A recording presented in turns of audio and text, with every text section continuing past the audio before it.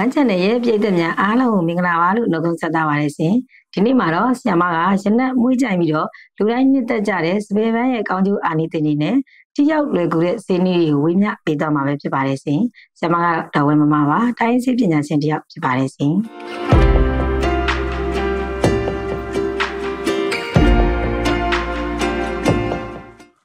ထမဆုံးအနေနဲ့စပယ်ပန်းကိုအသုံးပြုပေးခြင်းအပြင်ရရှိနိုင်တဲ့ကောင်းကျိုးအာနိသင်တွေကိုပြပြပေးခြင်းပါတယ်ရှင်။စပယ်ပန်းကိုအသုံးပြုပေးခြင်းအပြင်ရရှိနိုင်တဲ့ကောင်းကျိုးအာနိသင်တွေကတော့အာယုံကျိုးအကောင်းစေတယ်။စိတ်ပြည်စည်းမှုကိုရောကြစေတယ်။နာကျင်ကြိုက်ခဲမှုကိုတက်တာစေတယ်။ကင်ဆာကိုကာကွယ်ပေးတယ်။နှလုံးကိုကျန်းမာစေတယ်။အရေးပြားကိုကျန်းမာစေတယ်။ခေါင်းထိုးခေါင်းကိုက်ခြင်းကိုတက်တာစေတယ်။သွေးကြောထဲမှာရှိတဲ့အစီးဘူးတွေကိုဖယ်ရှားပေးတယ်။အရွယ်တင်နှုတ်ပြစေတယ်။စတဲ့ကောင်းကျိုးအာနိသင်တွေကိုရရှိမှာပဲဖြစ်ပါတယ်ရှင်။ အခုဆက်ပြီးတော့စပယ်ဘန်းကိုအသုံးပြုပေးခြင်းအပြင်ပျောက်ကင်းနိုင်တဲ့ယောဂတွေကိုလည်းပြပြပေးခြင်းပါတယ်ရှင်။စပယ်ဘန်းကိုအသုံးပြုပေးခြင်းအပြင်ပျောက်ကင်းနိုင်တဲ့ယောဂတွေကတော့မိရဲ့ယောဂ၊နှလုံးယောဂ၊အာယုံကြောအားနေတာ၊ရေပြားရရနာ၊ခေါင်းထိုးခေါင်းကိုက်တာ၊စီဘူးမိဘူးလောင်တာအစိတ်စီတဲ့တတ္တဝါတွေအကိုက်ခံရတာအေးမိခြင်းကြောင့်မို့ဖြစ်တတ်တဲ့ယောဂတွေနဲ့အဆုတ်နဲ့ပတ်သက်တဲ့ယောဂတွေကိုတတ်တာပြောက်ကင်းစေမှာပဲဖြစ်ပါတယ်ရှင်။အခုဆက်ပြီးတော့စပယ်ပန်းကိုအသုံးပြုပြီးကုသနိုင်တဲ့ယောဂတွေနဲ့ထိရောက်လွယ်ကူတဲ့စေနီတွေဝင်မြပေးသွားမှာပဲဖြစ်ပါတယ်ရှင်။ပထမဆုံးအနေနဲ့အာယုံကြောအားနေတဲ့ယောဂအတွက်စပယ်ပန်းကိုအသုံးပြုပြီးစေနီဖော်ဆက်ပုံကိုပြပြပေးချင်ပါတယ်ရှင်။ဒီစေနီမှာပါဝင်တဲ့စီပစ္စည်းတွေကတော့စပယ်ပန်းအဆူ30စာလက်ဖက်ကြောင်၅ချက်သားနဲ့ပြားရည်တို့ပါဝင်မှာဖြစ်ပါတယ်ရှင်။အခုပြပြပေးခဲ့တဲ့ပါဝင်ပစ္စည်းတွေကိုအသုံးပြုပြီးတော့ဆီလက်ဖက်ကြောင်ဖော်ဆက်ပုံကိုပြပြပေးချင်ပါတယ်ရှင်။ဆီလက်ဖက်ကြောင်ဖော်ဆက်ရမှာပထမဆုံးအနေနဲ့ အဝိတန်တန်တစ်ခုထဲမှာစပယ်ပန်းနဲ့လက်ဖက်ကြောင်ကိုထည့်ပြီးအထုပ်ဖြစ်အောင်ထုတ်ပေးထားပါ။အိုးတစ်လုံးထဲမှာရေကိုသုံးလုံးတစ်ပုံထည့်ပြီးတော့အပေါက်ပါတဲ့စကားတစ်ခုကိုတင်ထားပေးပါ။စကားပေါ်မှာဆေးတော့ကိုတင်ပြီးတော့တနာရီပြည့်အောင်အပူပေးထားမှာပဲဖြစ်ပါတယ်။တနာရီပြည့်သွားပြီဆိုရင်တော့အေးခံပြီးတော့ဘန်းတစ်ခုမှာပါပါဖြန့်ပြီးတော့အချောက်လန်းထားပေးရမှာပဲဖြစ်ပါတယ်ရှင်။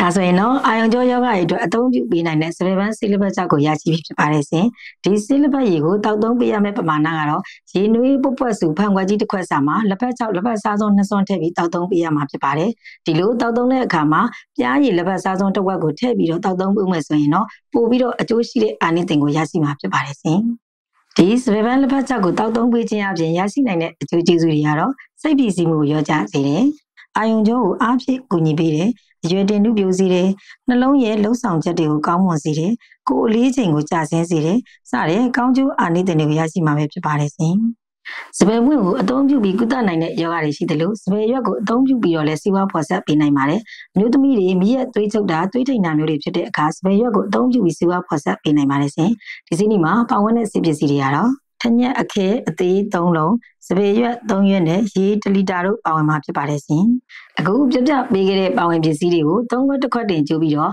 တစ်ချိန်တောက်ရင်အကြမ်းမကန်တစ်လုံးနဲ့တစ်နေ့ကို2ချိန်တောက်သုံးပေးရမှာပဲဖြစ်ပါတယ်ရှင်။ဒီလိုတောက်သုံးပေးခြင်းအပြင်အမျိုးသမီးတွေမြက်သွေးထိန်တာသွေးချုပ်တာကိုတက်တာစေမှာပဲဖြစ်ပါတယ်ရှင်။ကင်းကြိုက်တာငကြီးရိုးစူးတာမျိုးတွေဖြစ်တဲ့အခါမှာလည်းစပယ်ရွက်နဲ့မကြီးစည်းစိမ့်ကိုထောင်းပြီးတော့အုံပေးခြင်းအပြင်အစိတ်ကိုပြေလျော့စေပြီးတော့တက်တာပြောက်ကင်းစေမှာပဲဖြစ်ပါတယ်ရှင်။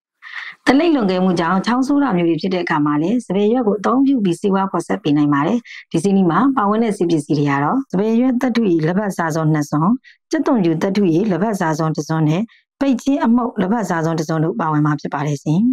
အခုပြပြပေးခဲ့တဲ့ပါဝင်ပစ္စည်းတွေကိုတမအောင်ရောဆက်ပြီးတော့ဒီချိန်တော့ရင်လက်ဘက်စားစုံနှစ်စွန်းနဲ့၈နာရီကြာတောက်သုံးပေးရမှာပဲဖြစ်ပါတယ်ရှင်ဒီလိုတောက်သုံးပေးခြင်းအပြင်တလိပ်လွန်ခဲ့ပြီးတော့ဖြစ်တဲ့ချောင်းဆူယောဂါကိုတတ်တာပြောက်ကင်းစေမှာပဲဖြစ်ပါတယ်ရှင် စပယ်ဘန်းနဲ့ပတ်သက်ပြီးတော့တခုတတိပေးချင်တာကတော့ကိုဝင်ဆောင်မိခင်နေနဲ့မကြာခဏဓာတ်မတက်မှုဖြစ်တတ်တဲ့သူတွေဟာစပယ်ဘန်းနဲ့စပယ်ရွက်ကိုတောက်စီအဖြစ်အသုံးမပြုသင့်ပါဘူးရှင်အခုလောက်ဆိုရင်တော့စပယ်ဘန်းရဲ့ကောင်းကျိုးအာနိသင်တွေနဲ့ထိရောက်လွယ်ကူတဲ့ဇေနီတွေကိုအတန်သင်သိရှိလိမ့်မယ်လို့ညွှန်လင်းပါတယ်ရှင်ဝမ်းချန်တဲ့ရဲ့ပြည်သက်များအားလုံးပဲယောဂဗျာတွေကင်းဝေးပြီးတော့တာယာပျော်ရွှင်တဲ့ဘဝတွေကိုပိုင်ဆိုင်နိုင်ကြပါစေရှင် အခုလိုမျိုးအကျိုးရှိစေမဲ့ကျမ်းမာရေးဗီဒီယိုလေးတွေကိုကျမတို့ One Channel ကနေစစ်စမပြတ်တဲ့စပ်ပေးမှာဖြစ်တဲ့အတွက်ကြောင့်ဆက်ဆက်ဆောင်ကြည့်အားပေးကြဖို့မေ့ကြပါနဲ့ဦးရှင်။